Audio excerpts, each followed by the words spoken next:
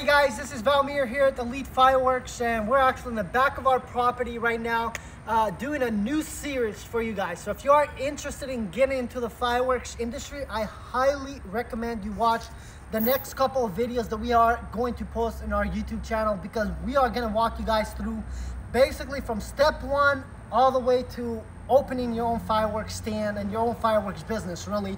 So obviously it can get a little bit complicated. When we first got in the industry we were lucky but we were not lucky uh, we kind of got in the industry and got kind of like screwed over but it, i know it's very helpful if you're looking to get into the industry to have someone to show you that hey this is the steps that you can do and what you should follow step by step. So I have my little niece here, but uh, it is a family business. But anyway, guys, so the first step that I highly recommend, and one thing before actually we go on to this video is, now this is based on our ex experience. We are telling you what we have seen, what has worked. If, it, if this video helps you save some time or makes it easier for you starting into business, to the fireworks industry, we're glad we can help. However, though, don't take all of this video as you know, like a just straightforward.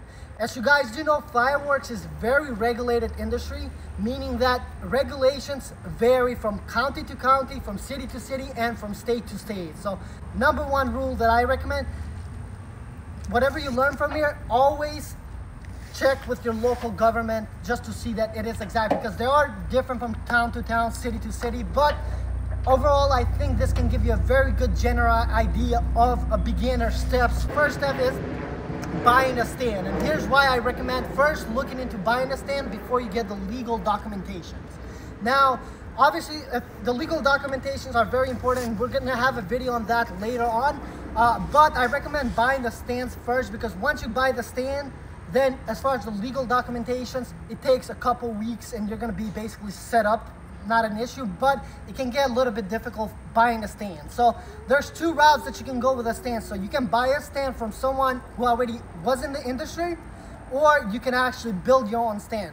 Obviously, the faster route of is to buy a stand out there. So websites that could help you for that. Believe it or not, Craigslist is always a good option because there's always people getting into the industry and outside the industry. Now, right now, the time of this video, prices for everything in life are inflated. So it's ridiculous some of the fireworks stands prices that you pay. But for instance, we're gonna show you one of the stands. A stand like this, I would, depending on some, so something like this. So this is, the reason why I wanna show this is because uh, this is something like maybe of a starter location. If you go ahead and show them this stand on right here. So this is a 40 foot container that we have for our industry that we make ourselves. However though, I do not, and as my brother is showing you here, many different stands. But when you're first starting, I don't recommend going with a huge container. Go with a 20 foot container, 25 foot trailer, something like this. The reason why, it's less expensive and it's also cheaper to move, okay? So the reason why I recommend with a smaller stand is because it is something new in the industry. Now, if you do have the capital, if you have the capital and you can afford it, Obviously, I do recommend building your own stand. It is more expensive, but if you build your own stand, obviously if you're not a handyman and you cannot build it yourself, find a local welder or someone that can actually, you know, can cut through the metal and actually build the whole frame from the windows to everything that's needed for the stands. Or often, often there's containers, uh, places where you buy your containers because fireworks in our industry, a lot of the stands are actually fireworks containers.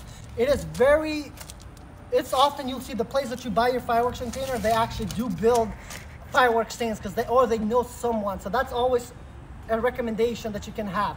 But anyway, this is a starter location. So for instance, if you look at the starter location, obviously from the outside of the stand, what we recommend is if you're building your stand or if you are looking earlier, I recommend the windows to have them every four feet, five feet. The reason why we've seen some people, they'll have one window from here all the way to here, whether that's a 10 feet, 12 feet, even 16 feet, one window, I don't recommend that because if in case there's any issues or something with a window, that's too much weight. And guys, we are in a very regulated industry, but if something happened, you don't want to get sued or something. So just make sure, see what everyone is doing and see why, because majority of the stands, they have smaller windows and so on, right? But anyway, as far as the stands, whenever you buy a stand, regulations are different from town to town, city to city. But for instance, notice here, this stand is actually about 25 feet in there. There's a there's a door there, and there's also another door. So there's also another door right here. Because here in Harris County, the regulation is every 20 feet you need a door. So hypothetically, let's say you open a 10 foot stand. Technically, you only need one door, right? Uh, but anything over 20 feet, you need two doors. So our 40 foot containers, that's why they have an entrance on the left side, an entrance on the right side, because that's what you need, okay? All right, so we're actually inside of stand. So we're gonna walk you guys in. Now, this is one of our older stands. So let's go ahead and come in. This is one of our older stands. The stand that you just saw right there, that one we actually sold. So this is one of our, well, we have only two stands that we have now that are the older, not 40 foot container. But the reason why we want to share this instead of the 40 foot container, because uh, those are very custom made, whereas these ones are a little bit more of the basic where you see, and when we first started with this, obviously this stand is a lot cheaper than the ones that we have, the 40 foot container, so we want to give you something where it's more relatable.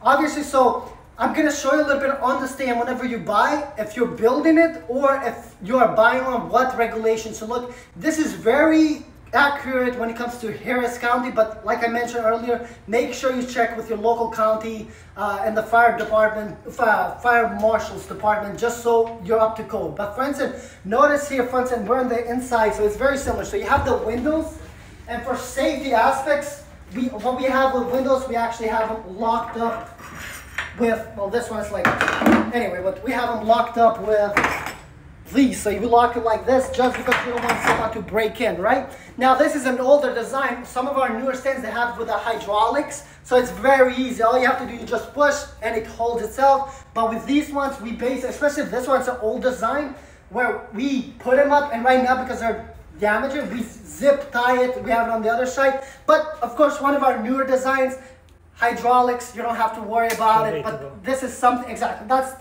it's faster, you don't have to worry about nothing. Now, as far as like the fireworks, obviously this is a different design. Our newer fireworks stands, it's all countertop here. So it's fully, with this one, it actually folds. The reason why we did on this one, because this trailer, it's actually on wheels. Normally it would be too high, so we did that so it would be better for the little kids.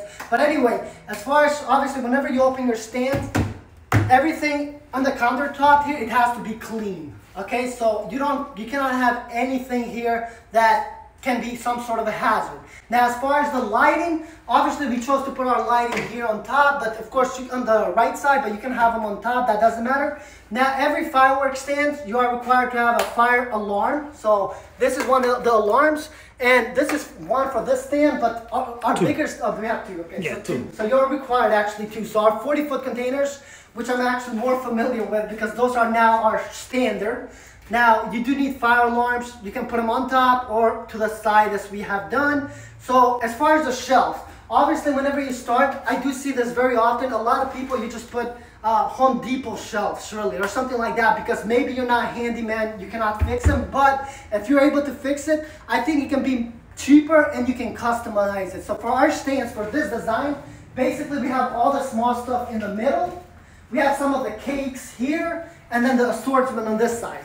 Now again, this design is a lot different from our 40 foot containers, but this is something that you want to have because you want to have variety in your fireworks stands from, you know, you want to have the small stuff, smokes, small fountains, sparklers, firecrackers, and so on. You want to have fountains for a lot of color in the ground, cakes, automatic that you light one time in the air. You want to have canisters and of course assortments, okay? So now, as far as the shelf space, so as you notice, We've basically all the shelves like here, they go here, but we've done this angular. You do not need to do the angular, but the reason why we did this is just because, for instance, some of our products, sometimes we would have, if we put, let's say some here prop products, and sometimes we'll have a product maybe go out one inch or two inch.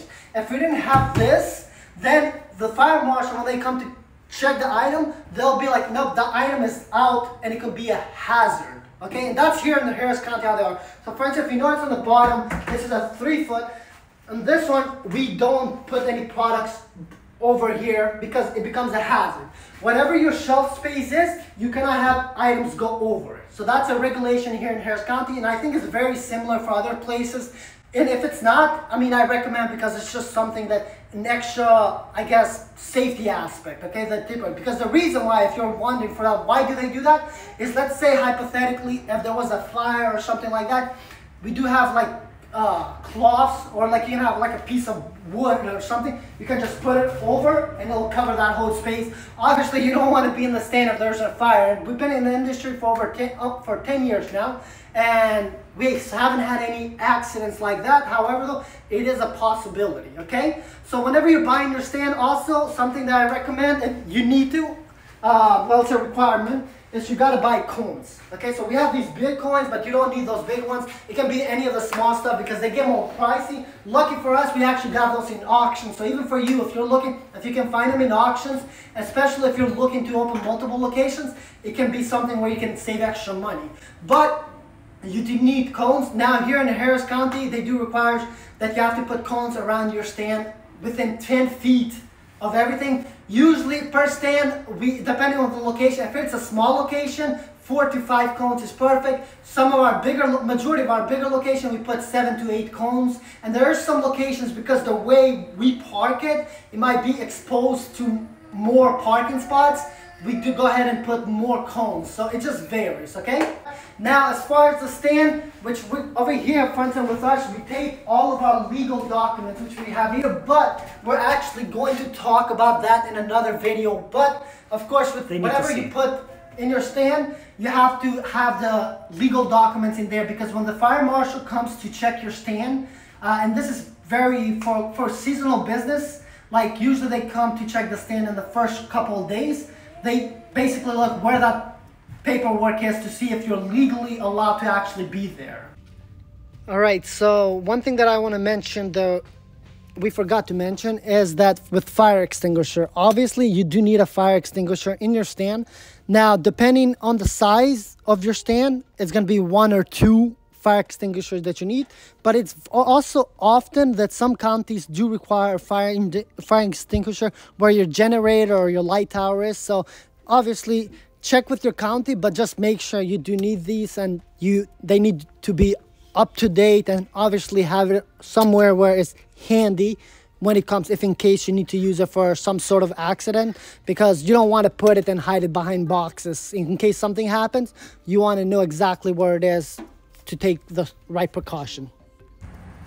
All right, guys, so we are flip-flopping stance with you guys, but right now we are outside to show you some of the legal requirements that are for fireworks stands in the outside, okay? So obviously the reason why we're switching stands because with this one is up to date and this is something that we recommend that you guys do because uh, one thing that I want to show you, so notice the no smoking sign. So obviously you are required to put a no smoking uh, sign and now it might vary in distance between county to county or state to state. However though, we are required to put that. Now for our county, we are required to put in all sides and if a stand is over 20 feet, you're supposed to put in two different places.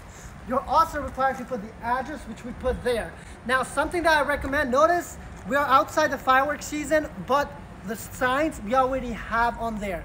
What is actually very common in our industry that we notice here in Texas, and which I don't understand why, a lot of businesses, what they do is they take off the signs outside of the season and they put them back on. Now, if you have one stand, two stand, that's fine, but when you have a bunch of stand, whenever you're taking the stands on the location, that actually adds more time that you're gonna be there rather than go quick. So what we do for us, we leave them on, that way we don't, we don't never have to worry about, oh, did we forget to put the sign? Did we not? So we know legally we're gonna be up to code. Another thing that it's required, they're very technical, it's about electricity. So we'll show you on this side that we have. So obviously to run your stand, you're gonna need some sort of power. Now, majority of fireworks stands are basically, you gotta have a generator. Uh, there is times where you find out locations, which we'll talk about that, but with on that property, you'll have like uh, they'll have electricity which you can borrow. But again, we'll talk about that. But you are required to have uh, some sort of electricity. Often, what happens is with a lot of a lot of us, we use generators. Okay. Now, notice the cables over there that we have on top. Now, for electricity, basically, it's a regulation here that any electrical electrical wires they have to be over 12 feet if i'm not mistaken uh, but yeah I Depends county per county. it varies from Yeah. county to county, like I said. But for our county, we have 12 feet. It has to be over. So, for instance, whenever you have your electricity, just make sure you have it up. And then what the next thing what you want to do, obviously, it varies county to county. But in our county, the generator has to be at least 15 feet away from the stand. And obviously, you you don't want to put it next to a car or something like that. Use common sense. But the generator, for instance, often some of our locations we put them in grass. Now, if you put your location, your uh, fireworks stand in grass, and that means you have to put your generator in grass. It is a regulation here that you cannot leave it on grass just because you don't want to cause a fire. So you can put something on top. The cheapest way, which we recommend, is a pallet. When you get your fireworks, they come with pallets. So that way, grab one of those pallets, put it there, and then every day you put your generator on that pallet. That's what we recommend, just so you don't have to worry. Now, obviously, if you put your generator on the pallet on the ground, you cannot just go from the top down because, again, going back to 12 feet, you cannot have the cable. So you're gonna have to put like a stick where you wire your cable and then it goes over and then down where the generator is because you don't want to have any any hazard. Anything else that we need from outside that we need to recommend, Kasrat? They make the generator, you cannot put it inside, but we have light over. They Yes. make So the something that- cage. yeah, yeah. So if you do have, yeah, that's a very good. Yes, I answer. forget about So that. So something that we forgot because we don't deal with it is if you had a question where where do you put the generator after the season? Like where do you to be out before? It was very common before they added this new rule. A lot of firework guys they'll just put them inside of the fireworks stand at a place where there's no fireworks. They'll put bar like they'll put uh, pieces of wood over just so nothing, you know, no heat, nothing. But now they actually made it where, and a lot of times we see they what they do for their generator, they create a cage outside of the fireworks stand, so where you can put your generator when the when the night is over, right? But for us, so- the reason why I forgot, and thank you for mentioning Kashan, is that for us we don't deal with that because all of our stands have light towers, which they're permanently outside, and we use the light tower to generate electricity as well as make our stands a lot more bright. So there you have it. But anyway, guys, thank you so much. And if you guys did enjoy this, hit a thumbs up. And if you want to learn a little bit more, please continue watching all the other videos as we post them on everything else that you need for the fireworks stands.